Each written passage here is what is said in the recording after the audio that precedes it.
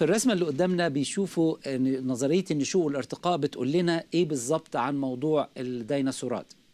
بتقول إن في حاجة اسمها إكتيوسورس تحت خالص كده في الناحية الحمراء. بيقول لك ده الجد التخيلي بتاع التماسيح والديناصورات. وبعدين بيقول لك الديناصورات جت هنا في في النص والديناصور من صفاته إنه الديل بتاعه مرتفع عن الأرض وإنه الأطراف الأمامية بتاعته صغيرة والأطراف الكبيرة هو اللي بيمشي عليها أساسا. تمام؟ دي الديناصورات اللي بتدب على الأرض. دي غير التنانين اللي في في البحار أيوة. وغير ال ال ح- اللي يسموه ديناصورات طائرة بس هي دي مع طائفة الطيور. بس خلينا نتكلم على دبابات الأرض أساسا. يعني الحيوان الشبيه هو في أستراليا الكنغرو.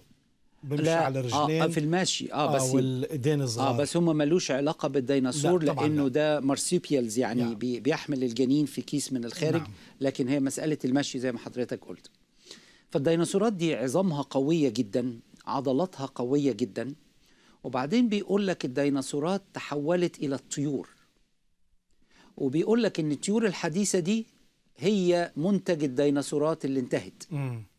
علشان نتحول من كائن بيمشي على الأرض بالعظام القوية دي والعضلات القوية عشان يكون جناح. دي حاجة صعبة جدا جدا. عشان يكون ريش. عشان العظام لازم تتغير عشان تبقى خفيفة وقوية زي عظام ال- الطيور. إيه اللي عمل التغيرات دي؟ ما التغيرات عشان تحصل لازم يحصل تغيرات في الجينات ولازم تحط عليها معلومات وراثية. فالديناصور ده لو قعد يرفرف مليون سنة عمره ما هيطير.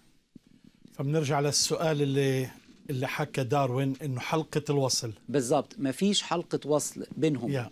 ولما هنكمل الحديث هيلفقوا حلقة وصل وهنشوف إنها طلعت آه، أوكي. إكذوبة تفضل فتيجي بعد كده تروح مثلا مانيتوبا يوروك عصفور زي كده ويقول لك دي. دي الديناصورات الحية فأنت رايح متحف تتعلم وتتعرف على الكلام المهم اللي في المتاحف يقول لك العصفور اللي أنت شايفه ده كان أصله ديناصور. يا ده الكلام اللي الناس بت... بتذاكر. شكله حلو العصفور ده. مش كده برضو؟ الفكرة يا أسيس نزار إن ده اللي بيدرس في المدارس وده لما مجموعة الطلبة يروحوا يزوروا متحف زي مانيتوبا وده متحف فخم جدا هيتعلموا إن الديناصورات أصبحت طيور. ده شيء بيخليهم ما يصدقش بقى في كلمة ربنا. لما الرب يقول إنه خلق الطيور في اليوم الخامس وخلق دبابات الأرض اللي منها الديناصورات في اليوم السادس, السادس. لكن اللي هو بيتقدم له اللي هو العلم الافتراضي مش العلم التشغيلي لأن ما حدش شاف عمره ديناصور بيتحول إلى طائر. بيقولوا فيه إنه هذا الافتراض هو ده اللي حصل وعليك تصدق هذا الكلام وإن ما أيوة. صدقتوش يتهموك إنك أنت مش مع العلم والكلام ده تعال بقى نشوف إيه اللي ممكن أو اللي لازم يحصل علشان ديناصور يتحول إلى طائر. لازم يحصل له نمو الريش. أنا حاطط شوية حاجات كتيره قوي في ال slide. لازم يحصل نمو للريش. الريش ده يجي منين؟ الريش ده حاجة معقدة جدا لأنه في primary و secondary و... و... ولازم لما يتفرد في كمان غدة عند الطائر إنه يدهنوا بيها علشان لو مطرت يبقى عليه آه، آه، مكان زيتي ما. ما. ما يقعش. و- وفي اتزان بين الأج... بالريش اللي في الجناح والجناح التاني عشان يبقى في اتزان. وفي عضلات بتحركه عشان ياخد الوضع السليم زي عارف الطيارة مم. لما تغير أيوة. وضعها. آه، الريش ق- معقد جدا. لا وشيل كم ريشه بت بي- ب- بيفقد توازن. اتزان بالظبط. فإزاي الديناصور هيعمل ريش؟ ال- الديناصور عنده آه، زي جلد كده حراشيف. مم. فإزاي تتحول الحراشيف دي إلى إلى ريش؟ لا وجلد قاسي جدا بالظبط يعني. جدا.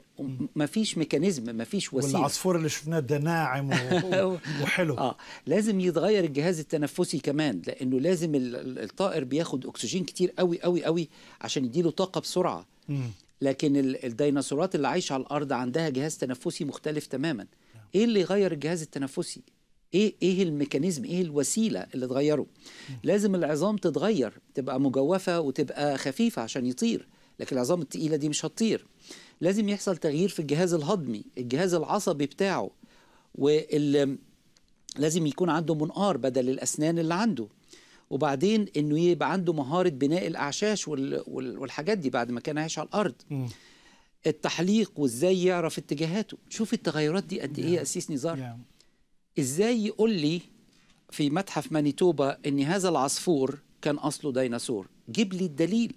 إحنا عايزين نفكر إحنا عايزين الأدلة. بحس كأنه عم بهينوا عقولنا بهاي الطريقة. بالظبط وللأسف بيقدموا لنا ده على أساس ده العلم المطلق.